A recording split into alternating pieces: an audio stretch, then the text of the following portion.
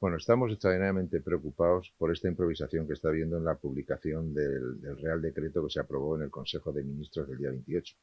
Estamos a menos de 24 horas de que empiece este desescalado y, y, los empresarios todavía no sabemos, no tenemos consignas claras de cómo organizar nuestra apertura. Eso es un desastre. Un empresario tiene que tener un mínimo de tiempo para organizar su apertura.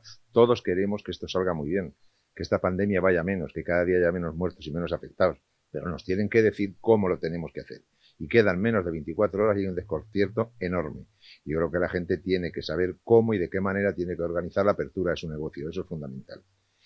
Y luego lo que es vital, vital también e importantísimo, y debía de aprobarse hoy mismo, hoy mismo el gobierno, es la prórroga de, del ERTE por causa de fuerza mayor. Es vital, es vital.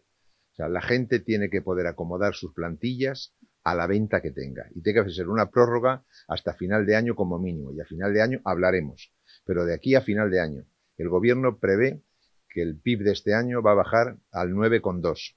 Y el año que viene, el de 2021, estamos hablando del 6,8. Seguramente será mayor la bajada del PIB. Pero con estas bajadas nada más que ya pronostica el gobierno, o nos dejan ajustar las plantillas a nuestras rentas que van a ser muy bajas este año y quizá se recuperen un poquito el año que viene, o va a haber una cascada de suspensiones de pagos y quiebra pavorosa, pavorosa.